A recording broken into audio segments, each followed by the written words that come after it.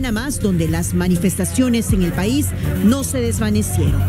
Protestas con enfrentamientos que dejan un fallecido más, heridos y toda la afectación que dejan los bloqueos de las carreteras. Esta vez Puno, Madre de Dios y Apurímac, la tierra de la presidenta Dina Boluarte, fueron los epicentros del descontrol social.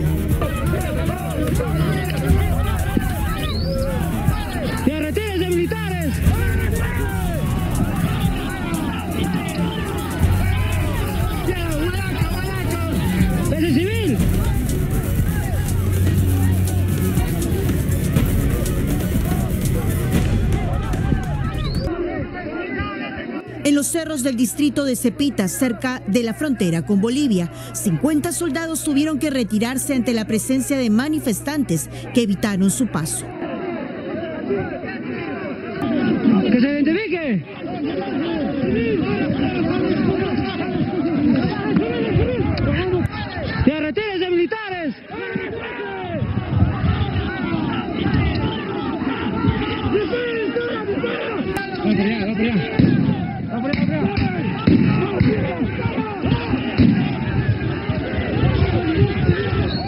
Disparen, disparen, la gente se viene, carajo.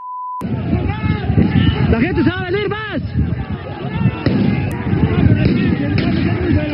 Ya, váyase, váyase. Este militar herido y auxiliado por sus compañeros prácticamente era cercado por los moradores provistos de Huaraca. Ya, déjale, déjale que se quede.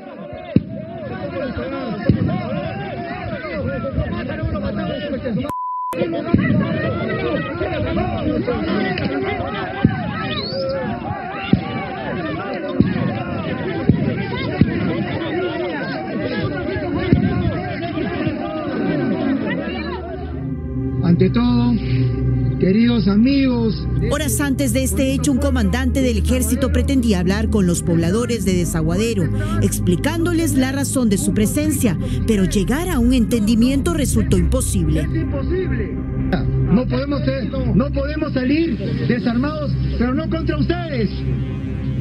El personal militar, para empezar, ustedes como sabrán, el personal militar somos parte de la protección de nuestra frontera. ¿Qué cosa es esto? La frontera. Silencio. No se puede hablar así, no se puede. No se puede hablar así. ¿Desde cuándo hablando? No se puede hablar. Amigos, amigos, amigos, amigos, escúchenme, escúchenme, escúchenme. Señores, simplemente escúchenme, escúchenme. Amigas,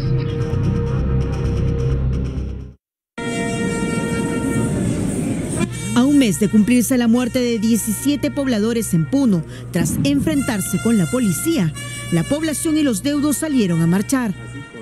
Ya nadie, nadie no dice nada, no nos apoyan nada. Que sea justicia, ¿no?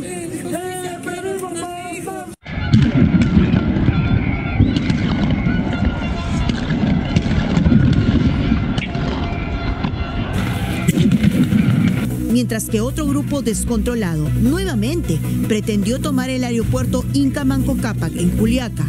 Avanzaron por la avenida Independencia para entrar al aeropuerto. La policía tuvo que dispersarlos con bombas lacrimógenas.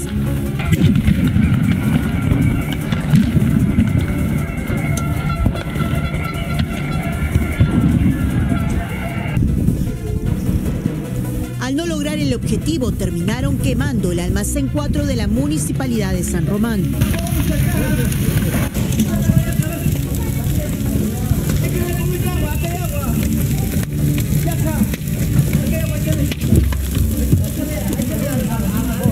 Este era un almacén de la Municipalidad de San Román que contaba con materiales de construcción, nos indican carretillas, palas, picos.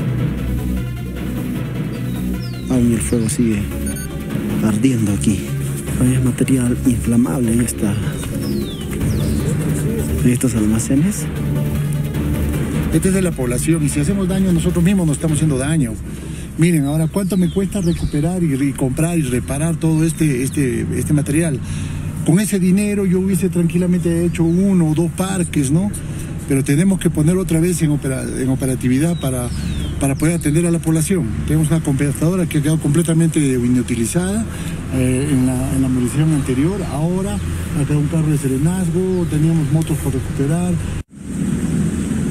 Y en Mazo Cruz, también en Puno, con megáfono en mano, la población exigía a la policía que se retire de la comisaría.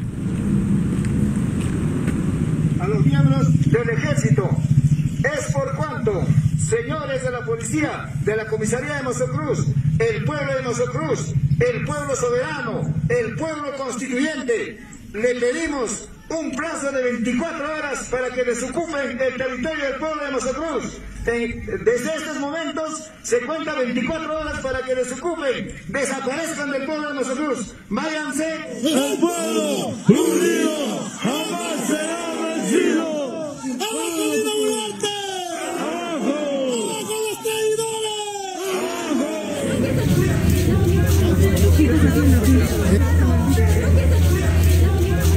Déjalo que revienten el patrullero.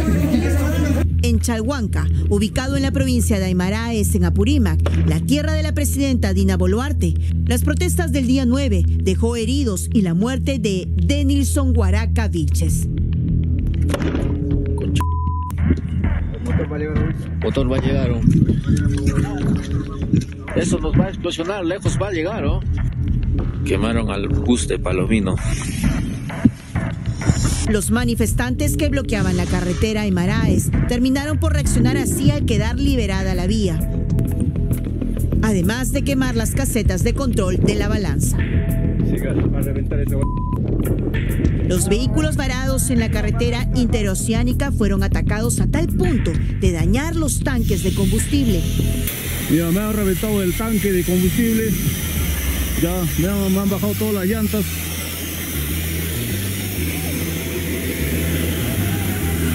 Han reventado todos los, los faros, el, el radiador, la parabrisa. Además, un policía fue secuestrado por dos días. Recién el sábado se confirmó su liberación. En Madre de Dios, un sector de la población salió a marchar.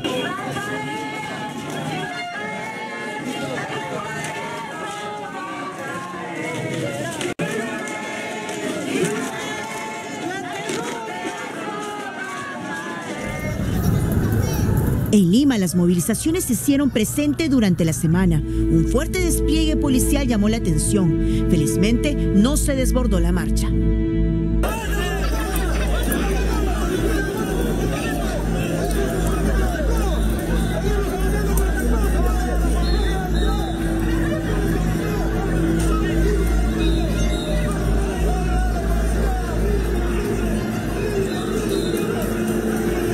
El viernes, con todos sus ministros en conferencia de prensa, la presidenta Dina Boluarte se hacía presente para romper la tradición del balance de los 100 días de gobierno, adelantándolo a dos meses.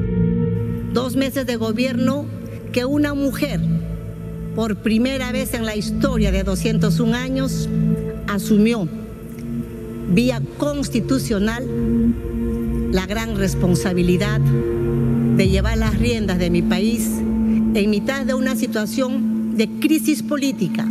Convocó a todos los líderes políticos y de organizaciones sociales a una reunión para conformar una agenda país. Pero está en los peruanos, está en nosotros. Fortalecer esa democracia, fortalecer nuestras instituciones y demostrarle al mundo entero que somos capaces de cambiar nuestra historia y tejer nosotros, sin injerencia del extranjero, un mensaje directo al reciente comentario del presidente de Colombia, Gustavo Petro, al comparar a la Policía Nacional con los nazis. Pero en Perú marchan como nazis contra su propio pueblo, rompiendo la Convención Americana de Derechos Humanos. La Convención Americana de Derechos Humanos no se aplica solo a gobiernos de izquierda doble moral el que hace eso. Se aplica a todos los gobiernos y esa es nuestra postura. No nos merecemos, el Perú entero, luego de haber salido de los años 80 y